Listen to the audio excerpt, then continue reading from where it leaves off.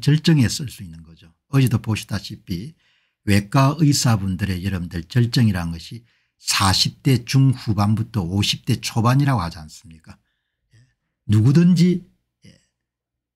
그 절정을 향해서 갈 때는 절정의 끝이 있다는 것을 대부분 잘 모르죠. 예. 그 절정의 시간이 끝나고 나면은 그러면 사람들이 아는 겁니다.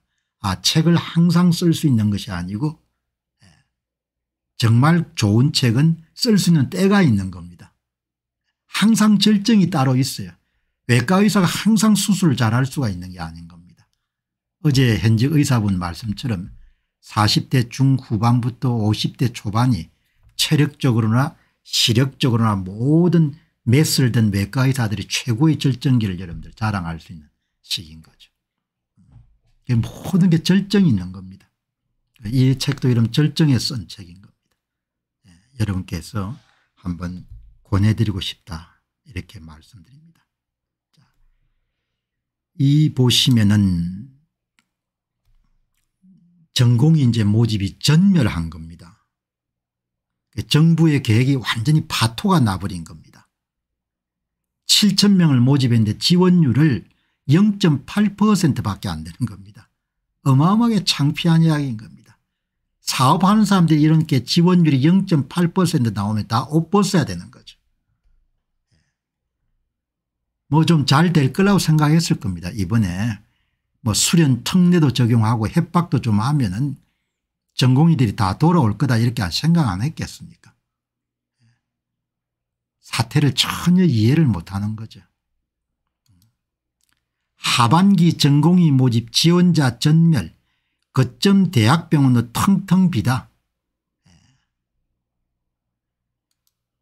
상급 종합병원 하반기 전공의 지원 율 0.8% 빅3 병원을 가리지 않고 전멸 수준 천멸을 당한 겁니다. 대한민국 관료들 경쟁력이 이 수준인 겁니다. 전혀 지금도 사태 파악 못하고 있습니다. 전공의들과 의대생들이 60년대 꼰대들을 뭡니까 정오한다는 것 자체를 이해를 못하는 겁니다. 예. 수련 특례 적용하면 다 올 거다 이렇게 생각한 겁니다. 그게 조교황 씨 여러분들 수준이고 박민수 씨 추근인 겁니다. 예. 상황을 전혀 잘 모르는 겁니다 아직도. 예. 된통당에 이런 정신들 차릴 겁니다. 된통당에도 차릴지 모르겠어요.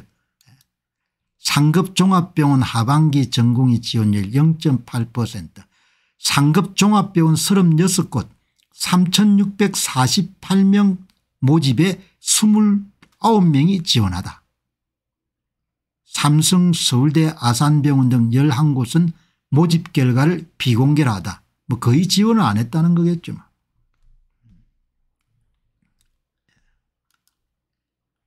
빅5 병원 수도권 지방 가릴 것 없이 수련병원 대부분이 하반기 모집에 실패했다. 사직 전공의 자리는 뽑지 않고 기존대로 가을에 결혼만 주문하던 수련병원에도 지원자가 없었다. 예. 비공개 방침을 밝혀온 11곳을 제외한 상급 종합병원 47곳 가운데서 36곳의 인턴이나 레지던트로 지원한 의사는 29명이었다. 지원율은 0.8%에 지나지 않았다. 예. 아무도 안 돌아왔다는 겁니다. 예. 이제 뭐 내놓을 수 있는 카드가 예, 그냥 다 강제로 끌어오면 되겠네. 강제 동원 행정명령 같은 걸 하나 만들어 가지고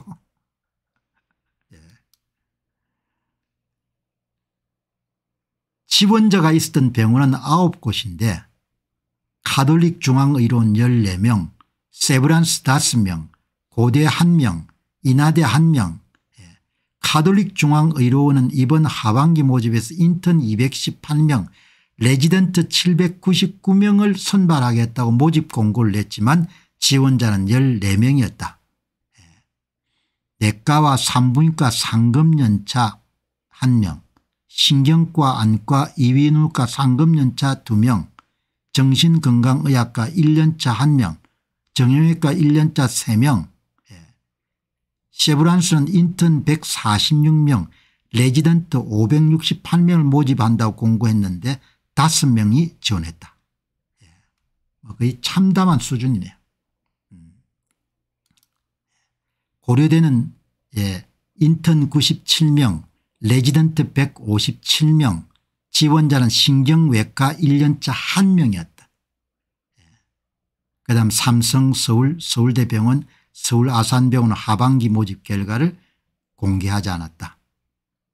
경북대 순춘향대 아주대 영남대 충남대 한양대 병원 등 27개 수련병원은 지원자가 단 한 명도 없었다.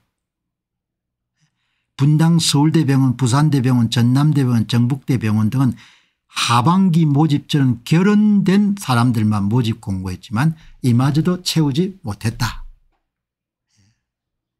어, 뭐 이런 보시게 되면은 예, 다 제로입니다. 다 제로. 주요 상급 종합병원 2024학년도 하반기 전공의 모집 결과 다 여러분들 예, 여기에 세브란스 5명 고대 1명 카톨릭대 14명. 영남대 건국대 전부 다 여러분들 다 제로인 겁니다. 이제 뭐 어떻게 하겠습니까? 이제 뭐 다시 추가 모집할 수는 없지 않습니까? 해도 안 올 테니까. 정부가 방침을 밝혔네요. 추가 모집 없다고. 하반기 전공의 지원율 저조 예상 31일이 되기 전에 30일입니다. 30일 날. 복지부 추가 모집 없어. 추가 모집 하더라도 뭐 안 들어올 거니까. 예.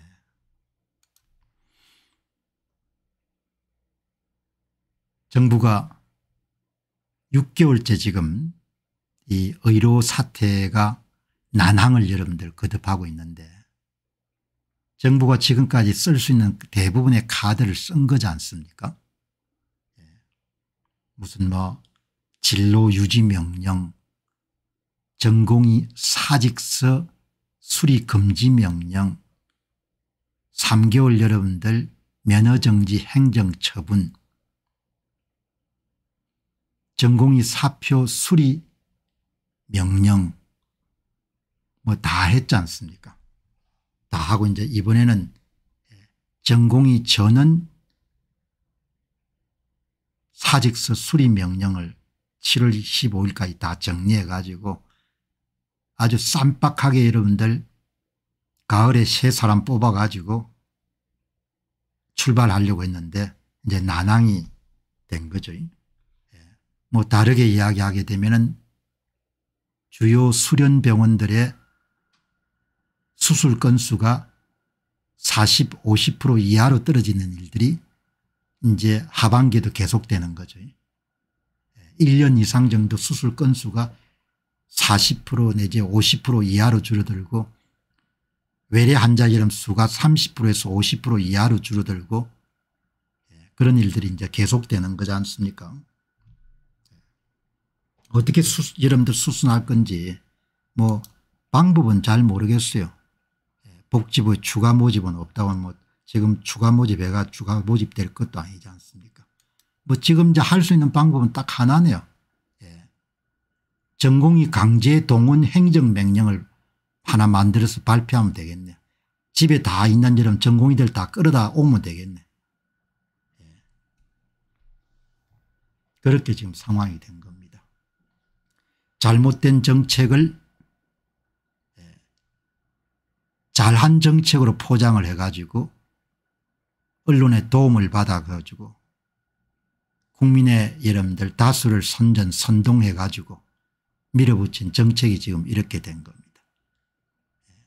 이거는 어마어마한 여러분들 의료 농단인 거죠.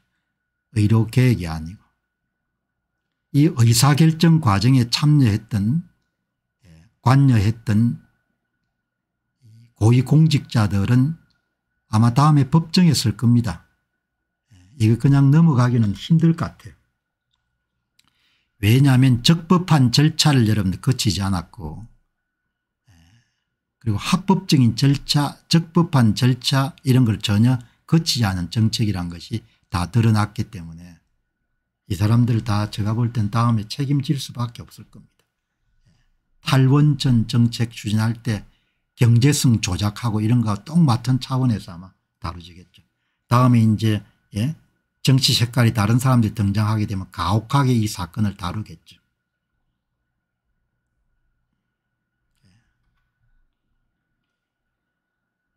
어리석교 참 바보 같은 예, 일인 겁니다.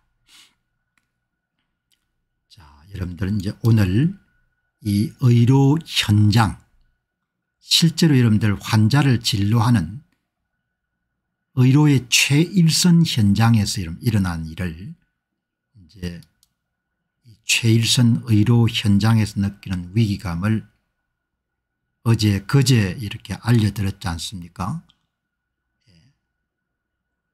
병원들의 의료 역량이 크게 악화되고 특히 3차 진료기간 그리고 응급실에서 코로나 환자들이 합병증이나 변이가 계속해서 증가하는 경향이 있고 그리고 이제 필수과 응급의학과 의료인들은 상당히 위기를 느끼고 있다. 이런 내용을 제가 그제 말씀드렸습니다. 그제 방송이 나가고 난 다음에 어제 또 응급의학과에 계시는 한 의사 선생께서 3차 진료기관인 대학병원들의 중증 질환자를 제대로 처리를 못해 가지고 그것이 2차 병원까지 계속 지금 넘어오는 상황이다. 2차 병원에 넘어오면은 예, 일체 민영사 책임을 묻지 않겠다는 그런 계약서를 작성하고 그다음에 치료를 시작하고 그다음에 병원을 이동시켜야 될 필요가 있으면 경상도에서 전라도나 경기도까지 전원을 시키는 경우가 있다. 예. 그 진짜 중증 질환자 제외하고는 치료를 받을 수 없을 수도 있으니까 예, 개인 위생에 각별히 주의하셔야 됩니다. 그런 내용을 이 방송을 시청하는 응급의학과 의사분께서 이렇게 올렸지 않습니까 또 다른 의사분께서는 현직 응급센터에 근무 중인 응급의학과 전문인데 예, 완전 붕괴 직전인 것을 피부로 느낍니다. 예, 그러지 않습니까 정부는 답이 없는 것 같습니다. 예, 이게 여러분들 무슨 어떤 신문 기사보다 더 여러분들 정확합니다. 왜 그런가 하니까 현장 리포트이기 때문에 이해관계가 없는 분들이 현장 리포트를 한 겁니다. 그럼 여러분들 이 방송이 나가고 난 다음에 음, 또 현장에 계신 분들이 이야기를 전해주는 겁니다. 예. 이또 다시 현장에 계신 분이 뭐라고 이야기하는 거 아니까 여기 한번 보시기 바랍니다. 제가 내과 의사입니다. 오늘 오전 진료를 하고 있는데 코로나 환자가 급격히 늘었습니다. 가히 폭발적입니다. 진로 마치고 이러면 짬을 짜는 사이에 그냥 그냥 메시지를 남긴 것 같습니다. 염려했던 일이 터졌습니다. 에크모를 달아야 하실 중환자분들은 모두 뭐하게 되었습니다. 예. 의료 사태 손절 시작 언론들이 슬슬 눈치를 보기 시작했다는 영상을 보시고 예. 내과 의사분이 메시지를 올려주신 겁니다. 예. 가장 실시간으로 우리가 지금 접하는 겁니다.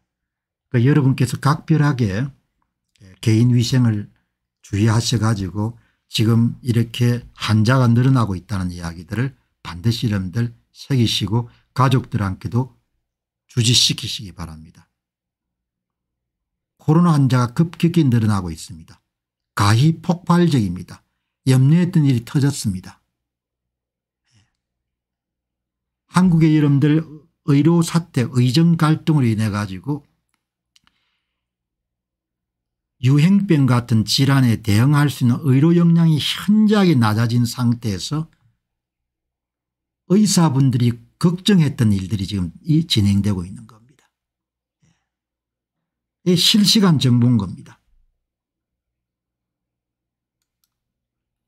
외래에서 벌써 코로나 양성이 많은데 올겨울 걱정입니다. 검사 병실 호흡기에 빼서 볼 전공이 없이 어떻게 보낼 수 있지 걱정입니다. 코로나 초기를 벌써 잊어버렸습니까 예. 이 여러분들 외래에서 현장을 아시는 분이 남긴 겁니다. 코로나 창걸 그때 정부가 의료계에 어떻게 말할지 꼭 보고 싶습니다. 예상을 하지만 예, 이 나라의 정신문화는 구석기 시대에서 별로 나아지지 못한 것 같습니다. 예, 이 현직 의사분 말씀입니다. 이게 이름 시시각각으로 이런 이 정보들이 지금 도착하는 겁니다.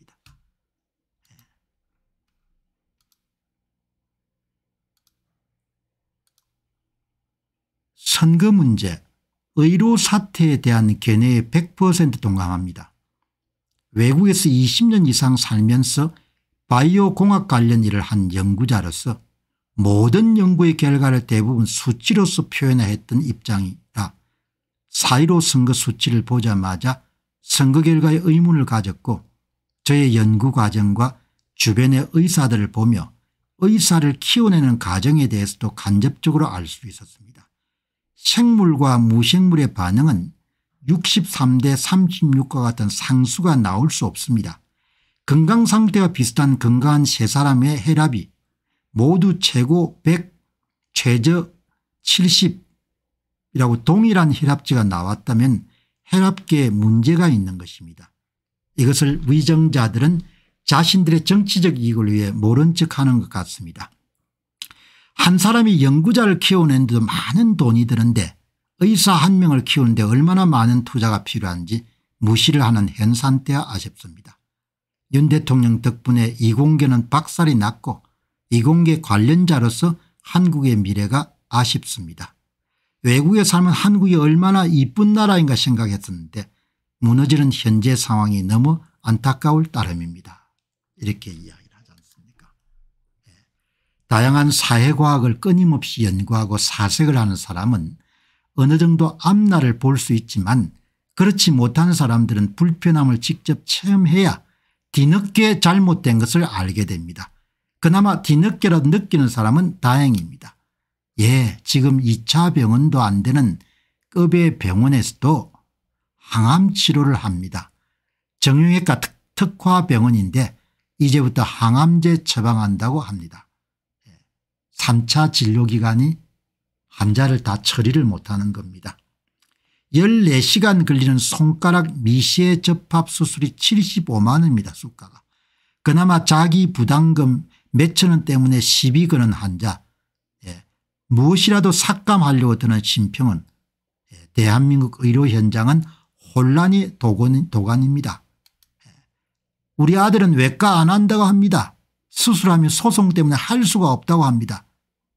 의대 교육을 지킬 수 있는 의평은 독립성을 지켜야 되는데 교육부가 압력을 넣겠다고 합니다.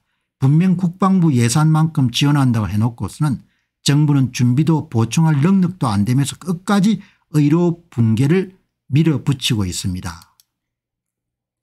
예, 암울한 시기에 세상의 빛과 소금이 되는 말씀 너무나 감사히 잘 듣고 보고 있습니다.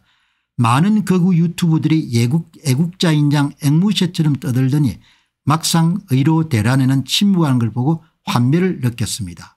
건강하시고 어두운 세상을 밝히는 등불이 되어 주시기 바랍니다. 예. 제가 한번 말씀드렸습니다마는 다른 유튜브를 거의 안 보는 게 아니고 아예 안 봅니다. 예. 뉴스는 보죠. 논평은 안 봅니다. 왜냐하면 논평은 그 사람의 의견이 들어가지 않습니까 그 다른 유튜브가 의료 사태를 다루는 건지 다루지 않는 건지 잘 모르는 겁니다. 이분 말씀을 보면은 예. 이름 하야 우파 유튜브를 하는 데서 거의 안 다루는 것 같네요. 예. 윤 정부의 뭐 심기를 크게 건드리고 싶지 않다는 이야기이지 않습니까 한국이 지금 상황이 이런 겁니다. 논평이라는 거가 이익이 되면 다루지만 이렇게 중요한 과제를 안 다루는 게 말이 됩니까 선거가 어마어마하게 이런 중요한 과제지만 돈이 안 되니까 안 다루지 않습니까 그러니까 그래서 제가 아예 안 봅니다. 어, 뭐 구독자가 몇 명이 간에 예, 영혼을 어지럽히는 이런들 이야기이기 때문에 안 보는 겁니다. 그런데 오늘 이분 말씀을 듣고 어, 다른 유튜브는 안 다루겠지 선거도 안 다뤘으니까 의료도 안 다루겠지 그리고 뭡니까 그냥 윤 대통령 잘한다 한동훈이 잘한다 그것만 다루겠죠. 그러니까 뭐뭐 뭐 썩었다고 남 이야기할 필요가 없는 겁니다. 다 썩었으니까. 음. 다 썩었으니까 뭐 남 이야기 굳이 할 필요가 없는 거죠. 예. 썩은 결과로 다음에 뭐 똥물을 먹게 되는 건 다 같이 먹을 거니까. 예. 지난 총선 이후에 윤 대통령과 이재명 당대표가 만났을 때 윤 대통령이 의료계에 힘을 보태달라고 이재명 후보에게 간절한 표정으로 말했습니다. 저는 그 순간 비장의 카드를 숨긴 채 포크페이스를 한 이재명의 미소를 보았습니다. 순진한지 바보인지 윤동은 꽤 반기는 표정이었습니다.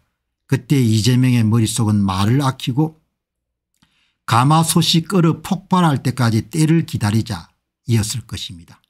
한 사람은 덩치만 크고 경로를 잘하는 성격 급한 곰이고 나머지 하나는 먹이가 눈앞에 확실히 올 때까지 배가 아파도 인내하고 기다린 뱀이었습니다. 훗날의 결과는 보나 마나할 겁니다. 예. 이분 말씀이 앞으로 어떻게 판가름 날지는 모르겠지만 이번 의료계획 이름으로 추진된 내용은 예, 윤 대통령의 운명에 상당한 영향을 미칠 본인 스스로가 이걸 거두들을 의지가 없기 때문에 그래서 더불어민주당이 다 입을 다물고 조용히 기다리는 겁니다. 예. 결정적인 시기가 도래할 때까지. 결정적인 시기가 도래할 때까지 뭡니까 상대방의 숨통을 예, 끊을 수 있는 시기가 도래할 때까지 포정 관리하며 조용히 보는 겁니다. 그러나 뭐 미련한 사람들은 그게 본인 운명하고 관리되는지 조차도 생각하고 싶어 하지 않는 겁니다. 하수입니다. 하수. 예, 어마어마하게 하수인 거죠. 자, 이 의학평가원 평가 예, 이게서도 이제 한번 부딪힐 것 같습니다. 예, 이 의과대학 교수들 그리고 의료계에 종사하는 사람들은 어떠한 비용을 치르더라도 의학교육의 질을 훼손해서 안 된다. 이런 결기가 있는 겁니다. 예. 윤 정부는 지금 의평원을 무력화시켜야 2025학년도 의과대학 정원을 증가시킬 수 있는 겁니다. 지금 여러분들 전공이나 의대생들의 반발 외에 또 하나의 굉장히 중요한 걸림돌이 의학 교육을 평가해온 의평원을 어떻게 무력화시킬 것인가 여기서 분명히 제가 볼 때는 무리수를 뚫 겁니다. 그리고 정권이 바뀌게 되면 예, 마치 탈핵과 마찬가지로 탈원전과 마찬가지로 그게 무리수를 둔 관료들이나 이런 사람들이 다 고초를 당할 겁니다. 예, 여기 보시게 되면은 예, 의료원이 여러분들 이 예, 의대 정원을 이게 KBS 강원 방송입니다. 강의실 수련식이 다 부족하다는 거 아닙니까 예. 뭐 삼척 동자도 다 알 수 있는 겁니다. 문제가 있는 것을 이거를 의평원에서 타협 없이 원칙대로 평가 작업을 하겠다는 거죠. 예. 의평원에서 음? 예. 평가 기준은 이번엔 너무나 급하게 여러분들 정원이 됐기 때문에 173% 여러분들 의학 의과대학 정원이 늘어났기 때문에 평상시에 15개의 평가 기준이 아니고 51개의 평가 기준을 가지고 평가하겠다는 거 아닙니까 30개 의과대학에 대해서 원칙대로 하겠다는 거죠. 원칙대로 원칙대로 한다는 이야기는 다르게 이야기하면 전부 다 탈락할 가능성이 높은 겁니다. 아주 소수를 제외하고 예. 여러분 이번에 의학계에서 일어나고 있는 의과대학 정원 증가 문제를 보면서 저는 늘 느껴왔지만 한국에서 완장을 찬 사람들이란 것은 기본적으로 절차적 정당성을 전혀 개의하지 않습니다. 절차적 정당성. 그게 여러분들 선진국하고 어마어마하게 차이인 겁니다. 그냥 절차가 마음에 들지 않으면 그냥 바꿔버리는 겁니다. 경기하기 이전에 게임 규칙을 바로 바꾸는 겁니다. 선거 앞두고 예. 비례대표 여러분들 제도를 다 바꿔버리는 겁니다. 그냥 그게 한국인의 머릿속에는 그냥 몸에 배어 있습니다. 절차 법 아 필요 없어. 그거 그냥 바꾸면 돼 이런 겁니다. 그게. 그게 선진국하고 엄청나게 차이인 겁니다. 예. 이번에도 딱 마찬가지일 겁니다. 의평은 의평은 협조해 협조하라고 협조 안 해? 예. 그러면 사전 심의하는 거 다 교육부 사전에 허가 받아 뭐 이렇게 바꿔버리는 겁니다. 아니 그리고 51개 이런 평가 기준이 뭐가 필요해 한 7개를 줄여 뭐 이렇게 할 수 있는 거죠.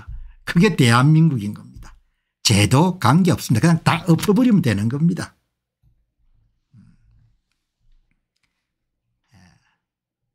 그래서 아마 이 원장 선생님이 자리 지킬지 모르겠습니다. 그냥 쫓, 쫓아내려고 하겠죠.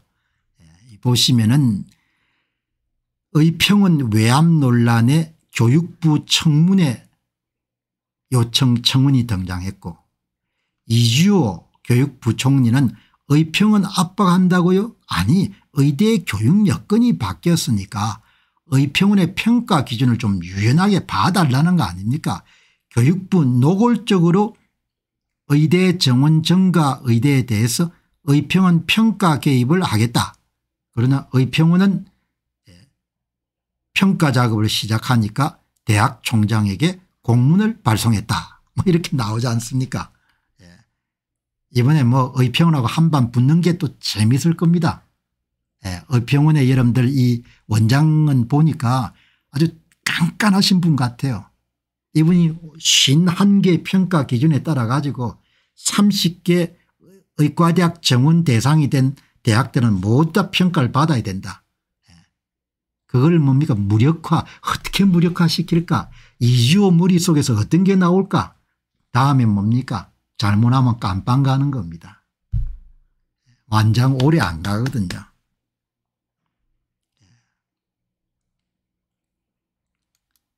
완장이 오래 갈 수가 있습니까 완장이 오래 갈 수가 없죠.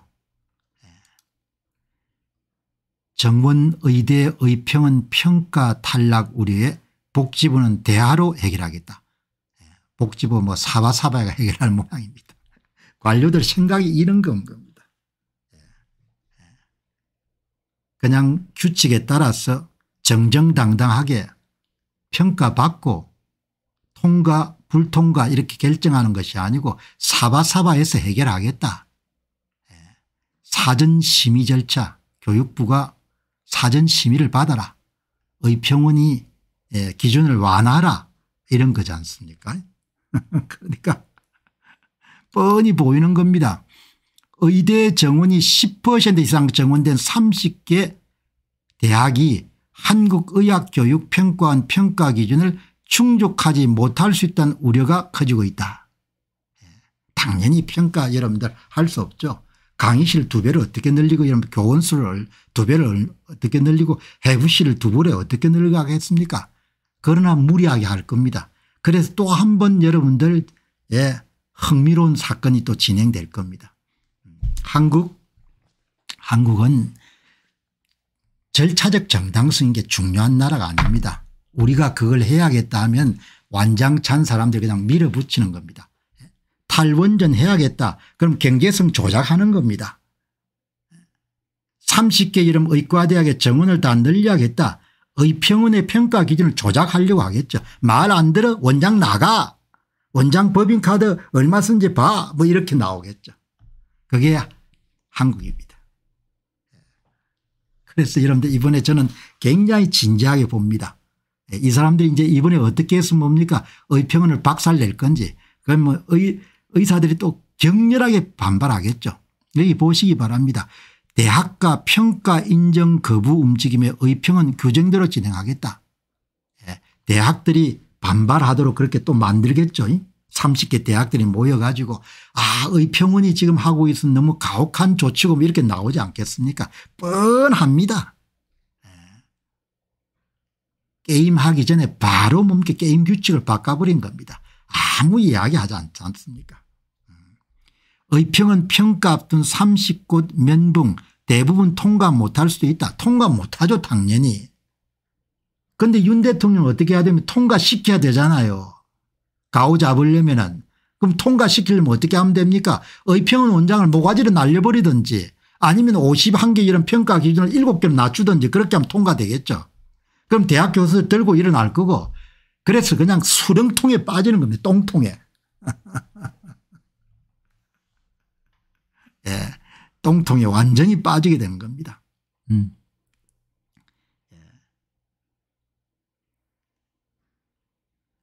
여기 보시게 되면 정부도 정부는 민수농님께서 너무도 안일한 행동을 하고 지켜보겠습니다. 우리 아이들이 다 나가고 싶어 합니다. 능력 때문에 나가두는 거 좋죠.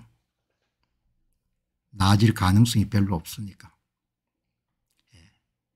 의과대학 36곳 교수들 의평은 공정 독립 자율성 침해 자시 않겠다.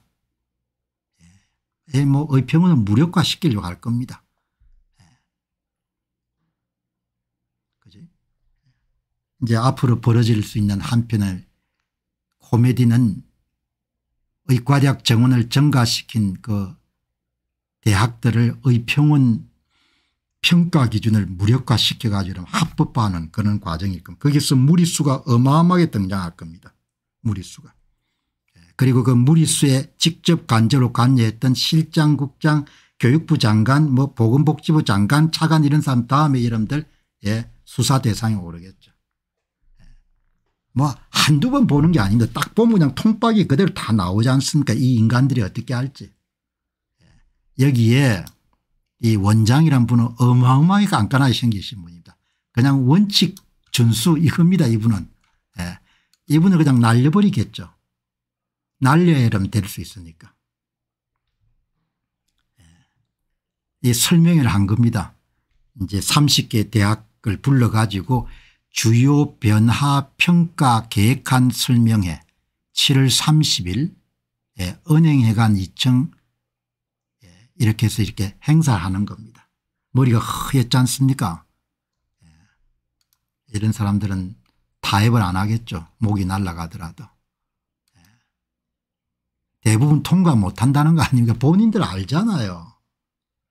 아 여러분들 한 50명 여러분 교육하던 기관에서 150명으로 늘리면 은 그거 어떻게 교육하겠습니까 교육하도록 두드려 맞춰야 되는 거죠.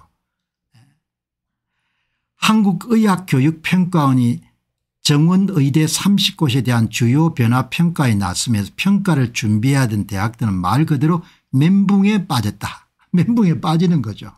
예. 음. 뭐 여기 이제 이 기사 청년의사라는 의료 전문지입니다. 그 하단에 젊은 의사들이 남긴 글을 보시기 바랍니다. 교육의 질 저하 따위는 없다고 큰소리 쳤는데 그분한테 하소연하시고 이번에 입학 정원이 늘어나는 대학들은 인정평가 부디 잘 준비하시기 바랍니다. 인정이 탈락되면 안 되지 않습니까 52개가 예. 여러분들 많다고 두툴대는데 그러면 51개가 중복이 되니까 그냥 카피해 가지고 그냥 같이 쓰면 되는 겁니다. 과도한 의대 정원은 대책도 없이 작성해서 낼까요 총장이나 되면서 다 계획이 있겠죠. 박민수 차관처럼 해외에서라도 교수 수입하시고 예. 대학 건물도 3D로 빨리 지으시고 그런 생각 없이 그 많은 의과대학 정원 신청하지는 않았을 것입니다. 의대 교육질을 반드시 유지하시기 바랍니다. 의과대학 여러분들 의대 의, 의료계에 계시는 젊은 의사분들이 좀 조소하는 겁니다.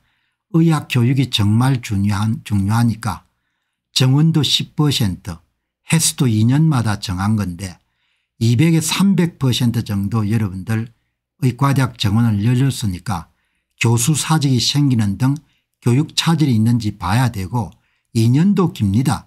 교수 결혼이 연초에 생기고 2년 만에 증언하면 그동안은 어떻게 할 겁니까 그러니 변화가 많을 때는 1년마다 예, 평가하는 것도 깁니다. 총장들은 제대로 준비도 안 하고 대량 정원 신청을 했군요. 등록금을 벌려고 수작 부리다 멀쩡했던 의과대학 폐교시키게 되면 꼭 책임지시기 바랍니다. 예, 젊은 의사들이 메디칼 전문지인 청년 의사 여러분들 의평원의 설명에 대한 내용을 보고 글을 남긴 겁니다. 볼만할 겁니다. 예. 그냥 사실로 이야기하게 되면 30개 대학 가운데 손에 꼽을 정도의 대학만 의평원을 통과할 겁니다. 그럼 통과하지 못한 학교에 여러분들 입학 정원을 받은 사람들은 국시를 볼 수 없는 겁니다. 예. 그런 상황을 지금 타개하겠어 이 관리 출신들 검사 출신들이 뭘 기획하겠습니까 쌍 그냥 밀어버려 의평원이 무슨 뭐 하는 데야 이렇게 안 하겠습니까 그렇게 할 겁니다. 한국에 완장 차면은 다 그렇게 하지 않습니까 음? 그냥 그냥 없애버려 이렇게 할 겁니다. 보시기 바랍니다. 그대로 갈 겁니다. 그래서 다음에 정권 바뀌게 되면 줄줄이 다 뭡니까 예, 법정에 서겠죠. 예, 그렇게 돌아가는 겁니다. 세상 뻔히 훤히 예상되는 겁니다. 의과대학 교수들이 논리적으로 잘 따졌네요. 예. 당신들이 법대로 하게 되면 은 2027년부터 정원을 해야 맞는 거다. 당신들이 법을 다 깡그리 무시하니까 그냥 대학 이, 이 대통령이 그 뭡니까 고함 치니까 2025년부터 하는 건데 예? 예, 여러분들 의과대학 교수들이 기가 찰 겁니다. 평생 과학을 해온 사람들이니까. 예. 과학을 해온 사람들은 도저히 역겨워서 볼 수가 없는 겁니다. 자기 집안 일도 이렇게 안 할 겁니다. 나라 일을 절차가 전혀 없는 절차적 정당성이 없는 겁니다. 깡 내가 이름도 뭡니까 내가 완장 찼어 그냥 해 이렇게 하면 그냥 그냥 돼야 되는 겁니다. 예, 참 의과대학 교수들도 안 됐습니다. 예. 이 카톨릭 의대 고대 서울대 성대 연대 울산대 교수 비상대책위원회는 교육부와 대학 총장들에게 공개 질의를 보냈다. 정상적인 절차에 의하면 1년 10개월 전에 입시 요강 학정을 기본으로 하는 대학 사전 예고지를 준수하고 의학교육 점검 필수 절차인 의평은 인정까지 고려했다면 지난해 5월 30일까지 정원 규모에 따른 인정까지 통과한 대학에 한해서 2025학년도 의과대학 정원 증가를 허용해야 된다. 여러분 이게 법인 겁니다. 2025년도 의과대학 정원을 증가하려면 은 법에 따르면 은 1년 10개월 전에 예, 입시요강 학정을 기본한 대학 사전 예고지를 준수하고 그리고 의평원 인정이 모두 다 맞춰야 2025학년도 여름 입학 정원을 늘릴 수 있는 겁니다. 전부 다 뭡니까 그냥 예 깡그리 무시해버린 겁니다. 그러니 예, 정상으로 하게 되면은 다음에 무슨 병고가 생기게 되면은 지금 무리수했던 박민수나 조경이나 전부가 뭐 이조나 다 뭡니까 예 수사받아야 될 사안인 겁니다. 이게 법인 겁니다. 법 절차가 있잖아요. 1년 10개월 전에 입시 요강 학정을 기본으로 한 대학 사전 예고제를 준수하고 의학교육 점검 필수지단의 의평은 인정까지 고려했다면 지난해 5월 31일까지 정원 규모에 따른 인정까지 통과한 대학에 대해서만 2025학년도 의대 정원을 늘릴 수 있다는 겁니다. 이게 의과대학 교수들 주장인 겁니다. 이 사람들은 과학을 했기 때문에 사바사바가 없는 겁니다. 에라 인간들아 나도 한국 사람이지만 좀 창피하고 부끄럽고 그런 거예요. 뭐 법을 뭡니까 그냥 지 마음대로 뭡니까 어기는 겁니다. 기가 찬 거죠. 그러니 얼마나 뭡니까 저보다 더 심하게 과학을 해온 사람들입니까 힘들겠냐고 이야기죠. 예? 이런 병 고치는 사람이 사기치겠습니까 예? 병 고치는 사람이 여러분들 자기가 예? 환자를 이름 수술하는데 환자 이름 진로 기록을 보니까 그게 폐암인데 그게 가남이라고 여러분들 그렇게 사기를 칠 수 있겠습니까 예? 아니 카톨릭 의과대학 여러분들 카톨릭 의, 의료중앙원에 음? 홍길동이라는 여러분들 예 폐암 전문의가 있다고 봅시다. 아니 그분이 여러분들 진로 기록을 보니까 이게 간암인데 이게 폐암이라고 진로하면 되겠습니까 과학을 하는 사람들은 그걸 할 수가 없습니다. 예. 의료인들은 그렇게 할 수가 없는 겁니다. 평균적인 수준으로 그 사람들이 정직할 수밖에 없는 겁니다. 검사들은 어떻습니까 행량이 여러분들 죄가 없는데 어 보니까 출시하기 위해서 죄를 만들어야 돼 그럼 죄를 만들 수 있는 겁니다. 너 10년 불어 불어 불어 이렇게 만들 수 있는 겁니다. 정직도로 따지게 되면 은 대한민국 평균 수준에서 의사들이 압도적인 1등인 겁니다. 왜 의사들은 다루는 것이 거짓말하면 환자가 죽는 겁니다. 여러분 그냥 넘어가겠지만 웃고 넘어가겠지만 너무 마음이 아픈 겁니다. 예? 왜 마음이 아프냐 사회 구성원들이 여러분 다 이해가 다른데 규칙을 정해놓으면 지켜야 될 거 아닙니까 법을 정해놓으면 지켜야 될 거 아닙니까 그걸 필요에 따라 다 뭡니까 그냥 엎고 뒤덮고 뭡니까 숨기고 그렇게 하는 거지 않습니까 제가 방송을 매일 하지만 아마 신앙이 없었으면 그냥 저도 힘들었을 것 같아요. 음. 너무나 악한 겁니다. 세상이. 예. 그러니 이 의과대학 교수분들이 얼마나 여러분들 분통이 터지겠습니까 예. 법적 절차랑은 아무것도 이러면 의미가 없는 겁니다. 이 보시죠. 현재 의평은 평가 일정을 고려해 순리대로 처리한다면 순리대로 하면 법적으로 처리한다면 내년 5월 30일까지 정원 규모와 인정 획득까지 확정된 대학에 한해서 2027학년도 의대 정원을 허용함이 법과 원칙을 준수한 올바른 형정입니다. 여러분 지금 의평원이 평가에 들어가게 되면 은 5월 30일까지 여러분들 다 끝나게 되면은 그럼 2025학년 때는 2027년도나 돼야 이런 정원을 할수 있다는 겁니다. 이걸 다 무시하는 겁니다. 예. 무시해 가지고 그래서 좋은 세상이 오면은 다 법적인 책임을 안 져도 될 겁니다. 그런데 저는 정권은 바뀔 것이고 정권이 바뀌게 되면은 이거 예, 의료운 농단 사건을 인해 가지고 다 예, 책임질 겁니다. 예. 역대 정권을 보고도 그걸 못 배운다. 인생 조심해서 살아야 되죠. 교육부총리 두 번 했고 이런 폼 잡았는데 막판에 그냥 골로 갈 수가 있는. 예. 인생도 이런 주식시장하고 똑같은 겁니다. 그동안 잘 살아왔는데 막판에 뭡니까 헷가닥 해가지고 좀 무리수를 뒀다. 예. 같은 편이 권력을 잡으면 봐주겠지. 예. 같은 편이 권력을 잡을 수 없는 상황이잖아요 지금. 같은 편이 권력을 잡을 수 없기 때문에 다 전부 골로 가는 겁니다. 예.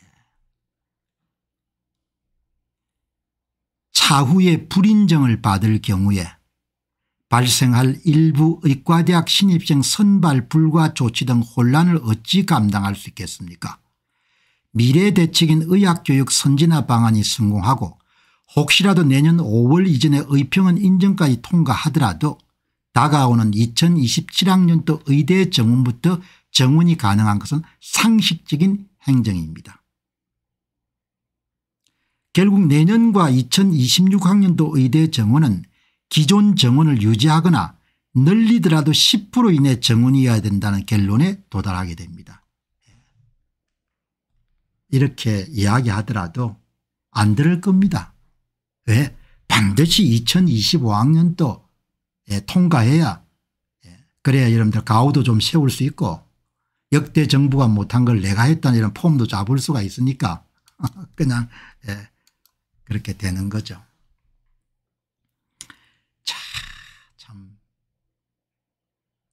정해진 여름 규칙을 그 제대로 준수하는 것이 이렇게 어려우니까 예. 자 여러분들 이 사람들이 참 보복을 계속 하는 거죠. 예. 이제 법을 고쳐 가지고 전공의를 의무적으로 거쳐야 병원을 개원할 수 있다. 뭐 이렇게 이름들 법을 바꿀 모양이네요. 예. 제가 이제 오늘 이 기사는 놓쳤는데 한 분께서 글을 남겼습니다. 오늘 기사를 보니까 법을 바꿔서 전공의를 반드시 거쳐야 개원이로 활동할 수 있게끔 한다는 얘기가 나옵니다. 노예가 싫다고 하니까 아예 노예제를 만들어 버리려고 합니다. 이렇게 나와 가지고 제가 이게 무슨 일인가 검색을 해 봤습니다. 음? 저렇게 하면 전공의들 전부 외국 나가버립니다. 아무 말 대잔치가 매일 나오는 걸 보고 있으니 이제 구역질이 납니다. 하여튼 돈 안 들이고 의사 착취하려고 눈에 불을 켰구만요. 어떻게 인간이 이렇게 파렴치하고 뻔뻔하고 악질적일 수 있는지 경악을 금할 수 없습니다. 조선시대 수준의 정부와 국민이니 의료 수준도 조선시대 수준을 받는 게 맞겠네요. 조만간 그렇게 될 겁니다. 예. 아마 두 분이 다 의사분 같으신데 예. 이 기사를 보고 진짜 찾아보니까 여러분들 이렇게 하려고 하는 모양이네요. 안정적으로 노예를 공급받을 수 있게끔 제도를 바꾸는 겁니다. 이름은 개원 매너제. 참 기가 차죠. 개원을 하려면은 일정 기간 동안 노예 생활을 해야 된다는 겁니다. 그러니까 완전히 이 젊은 의사들한테는 그냥 사람 취급을 받을 수가 없는 겁니다. 그러니까 노예 생활을 못하겠다고 나가버리는데 그러면은 좋다. 우리가 너희들의 본때를 보이지 위해 가지고 그냥 제도적으로 노예 제도를 만들겠다 이렇게 선언한 겁니다. 개원 매너제라는 이름으로. 예. 정부가 전공의 수련을 거치지 않은 의사의 경우 개원 자체가 힘들어질 수 있는 제도 도입을 검토 중인 것으로 알려졌다. 악한 겁니다. 어마어마하게 악한 겁니다. 음. 개원 면허제가 도입되면 전공의 수련을 거치지 않은 의사의 개원 예, pay doctor는 할 수 있는데 봉직의는 될 수가 있는데 개원의가 될 수 없는 겁니다. 수련 과정 복귀를 거부하는 사직 전공의에는 치명타가 될 수 있다는 전망이 나온다. 이런 이야기가 지금 나오니까 완전히 막 가는 것 같아요. 예, 개원 면허제 이거는 그냥 제가 볼 때는 그냥 막 가는 것 같습니다. 예. 노예제를 노예들을 확보하기 위해서 법을 만들어 가지고 예. 노예 노예를 만드는 겁니다. 예. 뭐 이런 제도를 만들면은 병원 오너나 아니면 병원 경영인들은 또 환영할 수도 있죠. 노예가 안정적으로 공급이 되니까. 이 나라 대책 없습니다. 대책이. 청년 의사들은 꼭 아시기 바랍니다. 이 나라는 이 지금 생각하는 거 보면은 예, 거의 대책이 없는 것 같아요. 미안함도 없고 부끄러움도 없고 양심도 없고 노예제를 만들어가 이러면 안정적으로 노예를 공급해야겠다. 그렇게 생각하는 겁니다. 그런 게 이름 지금 나오는 겁니다. 이렇게. 야 너희들 노예, 노예제를 우리가 확실히 노예제를 그냥 고착화 시킬게. 정권 바뀌기 전에 여러분들 가능성이 없을 것 같아요. 이 문제가 해결될 가능성이. 예. 뭐 여기 보시면 개원 면허제입니다. 예. 일정 기간 전공기를 마친 의사에게만 진로 권한을 부여한 제도다. 의대를 졸업한 의사가 곧바로 환자를 받는 것을 방지하게 했거든. 뭐또 이렇게 하면 선전선동해가 여러분들 다 만들려고 하겠죠. 대책 없는 나라입니다. 답이 없습니다. 답이. 예. 오로지 뭐죠? 예. 노예, 노예를 공급받아야 된다는 일념에 불타오르는 사람들입니다. 예. 젊은 의사들 생각 제대로 해야 될 겁니다. 뭐 제가 볼 때는 제가 젊은 사람 같으면 뭐 답이 없는 것 같아요.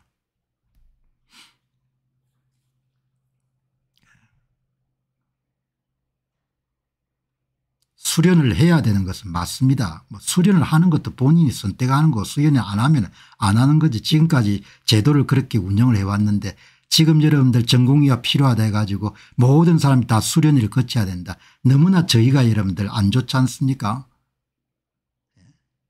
수련을 할 수도 있고 수련을 안 할 수도 있잖아요.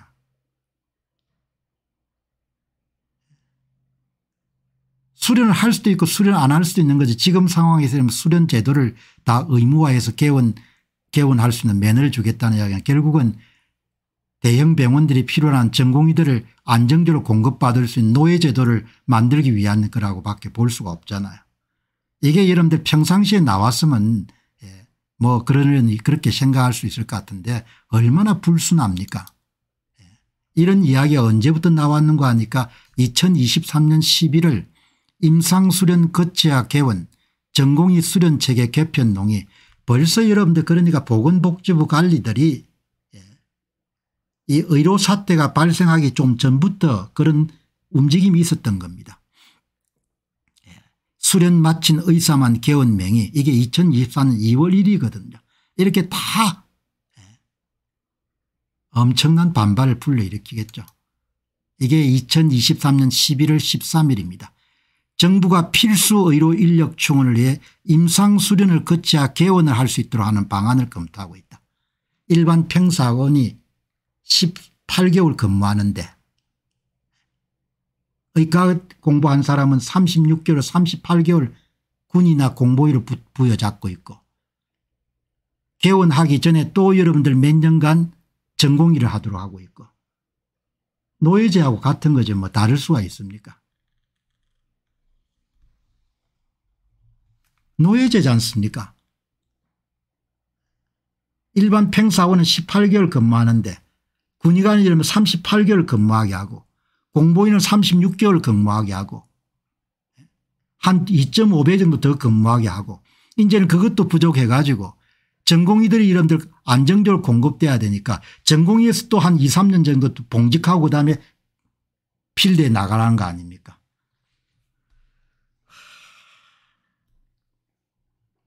뭐, 내 이익하고 관련이 없는 겁니다. 이래도, 그래도 이렇게 하면 안 되는 겁니다. 이 계획을 벌써 2023년 11월 14일에 노예 공급을 원활히 하기 위한 제도를 벌써 2023년 11월 13, 3일 날 벌써 생각하고 있지 않습니까 예. 정, 의과대학 정원 늘리기 전에 2년 과정의 임상 수련의를 도입해서 내과 외과 산부인과 소아청소 응급의학과 의무적으로 경험하도록 해 필수직군 의사를 양성하겠다는 거다. 예. 필수 의료과에 사람이 안 가니까 전부 다 2년간 다 근무해라 이렇게 만드는 겁니다. 예. 임상수련 과정을 거치지 않으면 월급 의사는 되지만 개원이 불가능하다. 이렇게 하면 노예제도가 구성이 되겠죠. 노예제도가 완전히 완성이 되겠지. 걱정할 필요가 없겠죠. 이제 뭐 사표 쓸 수가 없으니까.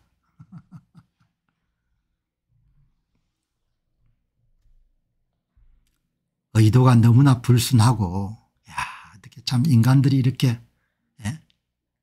이 김윤이라는 사람이 필수 의료과의 의과대학 졸업생 또는 전문의가 되고자 하는 모든 의사들이 수련 과정을 거칠 것이기 때문에 얼마나 불순합니까 필수 의료 인력을 여러분들 확보하기 위해가 전부 다 2년간 근무해라는 겁니다. 전부 다 2년 동안 노예제도를 통과해야 된다는 겁니다. 이거 이 보시기 바랍니다. 예? 필수 의료과의 의과대학 졸업생 또는 전문의가 되고자 하는 모든 의사의 수련 과정을 거칠 것이기 때문에 개원 매너제를 실시하게 되면 병원에서 필수 의료 인력 부족 문제를 해소하는 데 도움이 될 겁니다. 하, 얼마나 악합니까 필수 의료 인력의 부족 문제를 해결하기 위해서 개원 매너제를 도입하는 겁니다. 모든 의사들은 군 복무에 2년 동안 더 필수 의료과에 봉직해라 이 이야기한 겁니다. 하, 엄청나게 악한 겁니다. 또 이걸 선전선동해 통과시킬 겁니다. 나는 완전히 조선입니다. 조선. 젊은 사람들 생각 하나도 안 한 겁니다. 남자 같으면 은 3년 동안 군의관 복무하고 또 이름 여기 또 2년간 의무 복무하고 그때 이름도 그 나와가지고 개원일가 될 수 있는 겁니다. 이 의도가 너무나 불순하다는 겁니다. 병원에서의 필수 의료 인력 부족 문제를 해결하기 위해 가지고 뭘 도입한다? 개원 매너제를 도입하겠다는 겁니다.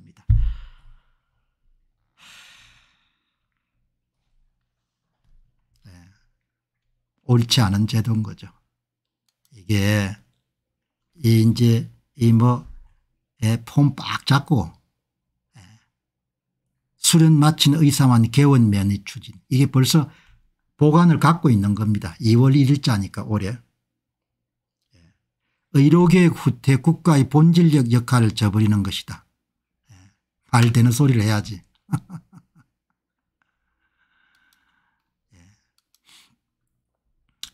이제 오늘 한 분이 남겼는데 개보다 못한 것 같아요 우리가. 저는 수의사입니다. 이해가 안 가는 게 도대체 지방자치단체 수십억을 들여가지고 동물병원을 짓습니다. 그리고 무료 중성화 수술을 해줍니다. 유기동물 보호소에 무슨 동물복지공원 만든다고 수십억씩 투입합니다. 그 돈으로 지방자치단체 보건소에 응급실 만들고 산부인과 분마실 만들고 의료사고 보험 들어주고 의료사고 시 책임 지방자치단체가 해결한 게 우선이라고 생각합니다. 돈이 없는 게 아니고 쓸데없는 데 낭비하는 겁니다. 제가 돈을 벌고는 있지만 이게 정상적인 행정인지 고개를 갸우뚱한 순간이 많습니다. 개를 못 데리고 나온다고 하면 군청 추상과 직원들이 운송까지 해줍니다. 미친 겁니다. 제가 돈을 좀 덜 벌어도 먹고 사는데 아무 지장이 없으니까 좀 나라가 정상으로 돌아가면 좋겠습니다. 고양이 중성하는데 군청에서 빠르면 15분 걸립니다. 20만 원 줍니다. 사람 심장 초음파 1시간씩 걸리는 것과 수가가 얼마인지 알면 짜증이 납니다. 수의과 의사분이 하도 여러분들 세상이 예? 막 돌아가니까 예? 개보다 못한 대접을 받는 겁니다.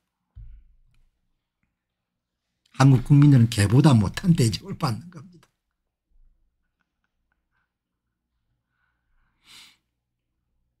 자 여러분 오늘 마지막 여러분들 방송 진행하도록 하겠습니다. 어제 조금 혼란이 있었기 때문에 이 의과대학생 복무 문제 예, 공보위 그리고 군의관 예, 예, 아주 가혹합니다. 군의관은 38개월을 근무합니다. 군인으로 이 공보위는 공중보건의로 취약지구에 의료 취약지구에 37개월을 근무합니다. 너무 깁니다. 아주 깁니다. 예. 어마어마하게 여러분들 깁니다. 오늘 의대생 우리 아들이 이번에 현역으로 갔습니다. 공중보건의로 끌려다니기 싫어서 갔습니다. 군의관은 월급이 220만 원입니다. 거기서 밥값도 떼갑니다. 일반 사병도 월급 200만 원 준다는 판에 이런 이야기가 있기 때문에 60년대 기성세대들 진짜 이기적입니다. 나라가 망해가고 있다고 이 나라를 떠나겠다는 예, 의사 아들은 분노합니다. 순수하고 정직한 모범 납세자인데 이 나라의 정치 몰입에 들은 후세를 생각하지 않습니다. 제 배떼지만 채우려 합니다. 의대 정원하지 말고 연금개혁이나 했어야겠죠. 연금개혁은 뭐 그 사람들이 더불어민주당이 도와줘야 되니까. 예, 의과대학 정원은 예, 그냥 자기 하고 싶은 대로 하게 되면 더불어민주당이 얼마나 좋아하는 일입니까. 예. 예. 그냥 가만 내버려 두면 그냥 골로 갈 거니까 내버려 두는 거지 않습니까. 본인이 할 수 있는 건 다른 건 아무것도 없는 거고. 의대생들의 공보위와 군의관 근무기간은 현역병 복무기간에 비해 상당히 길어 문제가 되고 있습니다. 현재 공보위의 복무관은 37개월입니다. 군의관의 복무관은 38개월입니다. 2개월의 기초군사훈련 포함해서 이것은 현역병의 복무기간과 비교했을 때 2배 정도 긴 기간입니다. 현역병의 경우 다음과 같은 복무기간을 가집니다. 육군 해병대 18개월 해군 20개월 공군 21개월 이러한 긴 복무 기간에 다음과 같은 문제점이 발생하고 있습니다. 복무 기피 현상 의대생이나 의사들 사이에서 군의관이나 공보위 복무를 기피하는 현상이 나타나고 있습니다. 그리고 현역병을 성공합니다. 군 복무를 앞둔 의대생과 전공의 중 75%가 군의관이나 공보위보다 현역병 복무를 선호합니다. 공보위 감소입니다. 의사 국가시험 합격 기간 중 남성은 증가했지만 공보위 외과수는 크게 감소했습니다. 2014년도 2411명에서 979명 예? 2.5배 정도 복무기간이 긴데 누가 가겠습니까 이러한 문제를 해결하기 위해 복무기간 단축에 대한 논의가 있으며 일부에서는 공보위와 군의관의 복무기간을 24개월로 단축해야 된다고 주장하고 있습니다. 그러나 이것은 아직 실질적인 논의 단계에 있으며 실제 정책 변경으로 이어지지는 않을 겁니다. 젊은 사람들 계속 여러분들 뭡니까 예, 약탈해야 되기 때문에 바꿔주지 않겠죠. 끝까지 여러분들 그냥 끌고 가려고 하겠죠. 그게 기성세대 생각이니까. 기가 찬 거죠.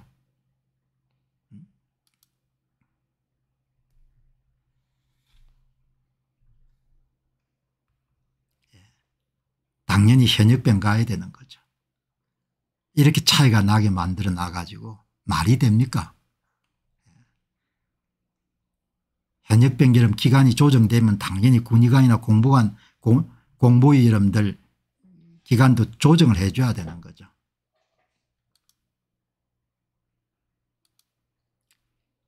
이제 군의관은 중위를 대의제대고 공중보건인은 이병제대입니다.